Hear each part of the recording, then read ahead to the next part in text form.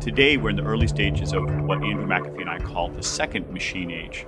The first machine age allowed machines to take over a lot of the work of human muscles. Now, in the second machine age, machines are beginning to automate and augment the human mind. We believe that this technological progress, this surge that we're seeing, is going to change the economy, is going to change the business world, is actually going to change our societies, uh, starting now and then probably increasing in the future. One of the missions of the Initiative on the Digital Economy is to help us understand how we can use these amazing technologies to shape our own destiny, to shape our future. The Initiative on the Digital Economy has five core activities.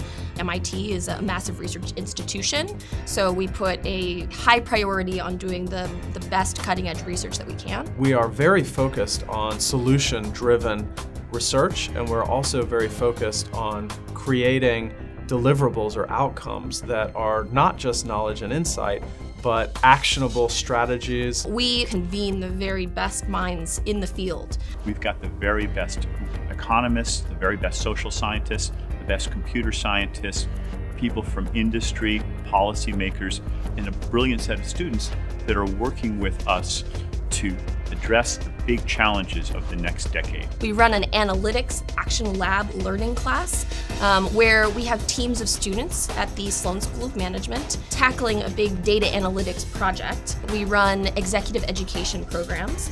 They're all online and digitally delivered. Our fourth core activity at IDE is digital fellowships. So these are people who come and spend time with us, whether that be a month or six months or a year. They come from industry, they come from press, uh, they come from other academic institutions.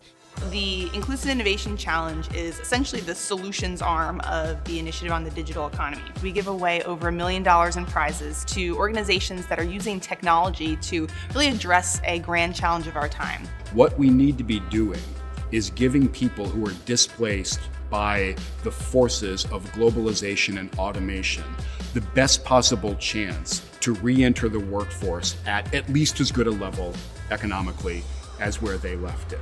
If we do the right things, this could be the best thing that ever happened to humanity. We're going to have more wealth, better health, and widely shared prosperity. The question isn't what the technology is going to do, it's what we do with technology.